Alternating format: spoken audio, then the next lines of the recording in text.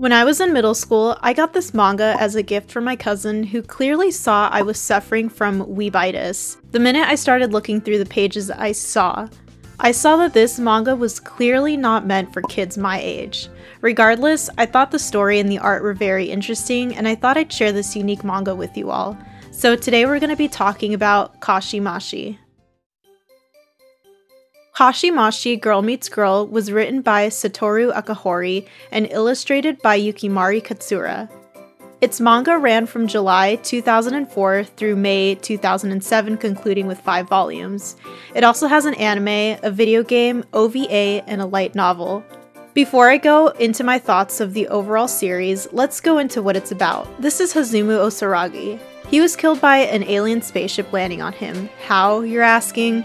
Well, let's learn a little about him first. Throughout his childhood, Hazumu has been seen as weak and effeminate, making him an easy target for bullies. For example, one of his passions is taking care of plants, and specifically flowers. I personally don't see that as overly effeminate, but I can see what Mr. Akahori was going for. His best friend and local tomboy, Tamari Kurusu, would often protect him against these bullies. Fast forwarding to his second year in high school, Hazumu is pressured by his best friends Tamari and Asuta, we'll talk more about him later, to confess his feelings to Yasuna. Let's also put a pin on who Yasuna is and why she rejects Hazumu. Devastated by this rejection, Hazumu goes up to Mount Kashima to be around the plants he loves so much. But while up there, an alien spacecraft crash lands on him, seriously injuring him. And by seriously injuring, I mean he's literally killed. The alien who crash landed into Hazumu does resurrect him, but oh no, what's that? Hazumu is brought back as a girl. Oh. Okay. Hazumu now has to learn how to navigate as a girl in high school, and spoiler, he doesn't need that much adjusting in the manga because, as I mentioned earlier, his character was already seen as effeminate. It's mostly other things like wearing girls' clothing and adjusting how others treat him as a girl is what proves to be more challenging for him. Also, Yasuna, you know, that crush in the beginning that rejected him, yeah, she's down now that Hazumu comes back to high school as a girl, and she ends up confessing her love back to Hazumu, which confuses him even more. Okay, now is a good time to talk about Yasuna. This is Yasuna, and you probably can't tell by the tone of my voice, but I really don't like her. Even the first time I read Kashimashi in middle school, I just didn't like her in general. So get this. Since the time she was born, Yasuna Asuna has had an affliction that makes her incapable of seeing males. Okay.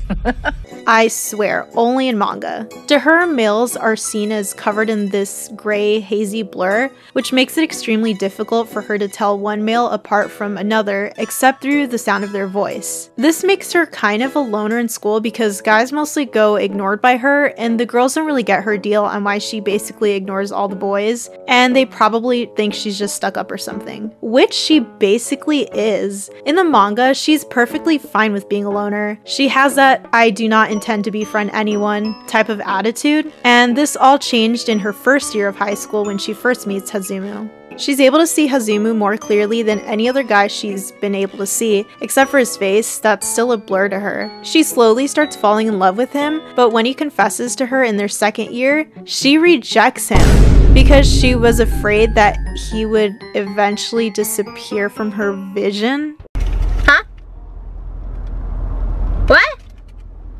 Oh. okay.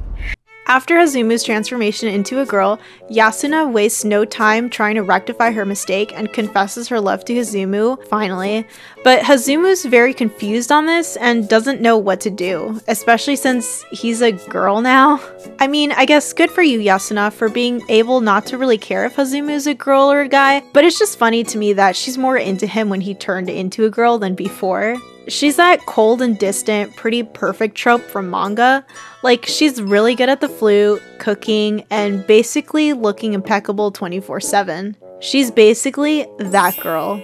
During the course of the manga, she does change, but if you ask me, and you are, she mainly does this because she likes seeing Hazumu happy, and he's the most happy when he's around his friends and family and when they're all together. So if it were up to her, I just know that she'd keep him all to herself. This is why I always backed my girl Tamari. The other part of this love triangle, Tamari Kurusu is Hazumu's childhood friend and resident tomboy. Being the awesome person that she is, she defended Hazumu from bullies and has basically stuck with him through thick and thin. She's had a crush on Hazumu for the longest time, that it's jarring for her when he turns into a girl as she's liked him as a boy. So at first she's annoyed that everyone is trying to have Hazumu adjust to this life as a girl by making him more feminine. But then she realizes he's exactly the same as he was when he was a boy, except now he's just a girl. Since Tamari has always protected Hazumu, she tries to tell Yasuna to back off for making him go through heartbreak, but Hazumu, being a huge simp, wants to keep Yasuna around as a friend, so Tamari half backs off. Which ends up being a huge mistake on Tamari's part because Yasuna's intentions are not just to be Hazumu's friend. It's to quote unquote keep Hazumu all to herself, which is sickening. If you're not rooting for Tamari at this point, I don't know what to tell you. She has to watch Yasuna basically brag about how she has Hazumu wrapped around her little finger. Yasuna even manages to kiss Hazumu before Tamari, which is so infuriating. Is this the thanks that I get for putting you bitches on? Is it my fault that all you bitches are gone? You should have sent a thank you note, you little hole. Now, I'm going to wrap your coffin with a bow. Before I need to check my blood pressure levels, let's talk about the secondary characters in the story. We've got Asuta, Hazumu's friend from before the change. There's not really much to say about him other than he occasionally serves as comic relief. Actually, now that I'm thinking about it, all the men in this manga, excluding Janpu and Namiko, serve as some sort of comic relief. His shtick is that he finds Hazumu hot after the change, so he gets really into fantasizing about Hazumu, so much so that he ends up getting lost in thought, much to his own detriment. He does end up with his own girlfriend by the end, but she bears a suspicious resemblance to Hazumu. Next we have Ayuki Mari, who is also a classmate of Hazumu and the gang. She usually gives advice to both Tamari and Yasuna about their feelings to Hazumu. Ayuki is seen rejecting guys and lets Hazumu know that she's more comfortable being an observer rather than a participant of love. And in a way, it's her own version of love. She's also really into biological science. Namiko Tsuki is the English teacher at Kashima High School, and she's also Hazumu's homeroom teacher. She's a 35 year old hopeless romantic. She's never had a boyfriend, but pretty much made her focus all her time on her students, but, you know, she's still out there looking for love. When that alien that I'll talk about in a sec shows up to work at the school as well, she instantly becomes infatuated by him. His name is Hitoshi, by the way, and I'm not trying to keep it a secret or anything. I just don't want to repeat myself yet again when we get to him. Namiko is so obsessed with him that she has pictures of him on her walls and is constantly fantasizing about him, much like Asuta does to Hazumu. Also, just like Asuta, it's much to her detriment. Hitoshi's species can't express emotions, so this is all one sided, and I just wish Namiko could catch a break. I mean, please. Okay, Finally, we're at Hitoshi Sora, arguably the second most important person slash alien to the story. I mean, we wouldn't have one if it weren't for him. Hitoshi the space alien arrived to Earth thanks to a spaceship run by this AI slash fembot named Janpu. He's the one responsible to resurrecting Hazumu into a girl. He originally came to Earth to study the emotions of the human race since the species became devoid of emotion due to his people discovering the means to destroy all life in the entire universe instantly. So in order to prevent this from ever happening, his people chose to discard their emotions. The downside to this was that they lost their sexual urges, so no one was procreating. So his species is on the brink of extinction. He came to Earth to research how to love each other in order to survive. He lucked out with Hazumu, as he's currently in a love triangle with Yasuna and Tamari. In order to more closely observe Hazumu, he ends up working at Hazumu's high school as a biology teacher. Janpu, like I mentioned before, is a gynoid and AI of Hitoshi's spaceship. She can levitate and bend light around her so others don't see her. She's kind of a woman child, which I don't like, just because I know what these tropes in manga are meant for, but I will say, I do really like her relationship with Hazumu. She loves him a lot. If you're wondering how Hazumu's parents reacted to all of this, they basically have always wanted a daughter, so it's a welcome surprise that he does come back as a girl. They're supportive in terms of buying her clothes to wear and just immediately accept as a girl. I really, really don't like how they made the dad this harasser in where he's always trying to take a bath with Hazumu, but his wife is constantly stopping him. It's not funny and it's really gross. That's your daughter, dude. Now that we've met the characters, you're probably wondering how it all ends. This catalyst for the end of the manga is that Hitoshi confirms that Hazumu's life grain count is slowly dissipating due to the regeneration process he went through, and only has one month left to live. The solution? Someone very close to Hazumu has to donate life grains to her to sustain her life. Hazumu, on the other hand, doesn't know that her friends know that she's going to die, and she kind of accepts it. On the day she's supposed to die, she falls off the school's roof and Tamari jumps off the roof in an attempt to save her. However, before they both reach the ground, Hitoshi transfers the necessary life grain to Hazumu and they both survive the fall. Waking up in the infirmary, Hazumu confesses her love to Tamari, effectively choosing her over Yasuna. Let's talk about the differences in the manga and the anime. For starters, in the anime, when Hazumu gets turned into a girl, she has a much harder time adjusting to her new body, and just in general with how she walks and talks and dresses. In the manga, she adjusts way quicker. Anime Tamari is also more willing to teach Hazumu about being a girl, but in the manga, she remains resistant to the idea.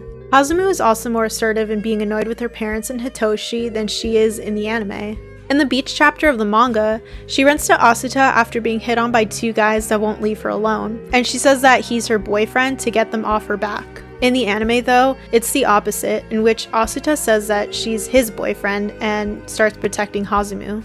Another huge change is with Yasuna. In the anime, she develops the condition of not being able to see men as opposed to in the manga, where she was always born with it. She develops the condition by her father getting angry with her one day. It only had affected her dad, but then later got worse, and she eventually was unable to see all males. It actually gets worse over time in the anime because she's also unable to see females in the 11th episode. Anime Yasuna is also terrified of males, but in the manga, she actually kind of just ignores them altogether. I think they made this change to make her more likable, and adding the tragic backstory to her also made her sympathetic as well. The ending was very much changed in the anime, where Hazumu's life isn't threatened, and she actually chooses Yasuna in order to help her cure her worsening eyesight. But when Yasuna starts to be able to see all people again, she breaks breaks up with Hazumu, wanting to be more independent, earning Hazumu the biggest L in the series. In the OVA, Hazumu confesses her love to Tamari on Christmas and they get married in a ceremony held by Hitoshi. Out of all the Yuri mangas out there,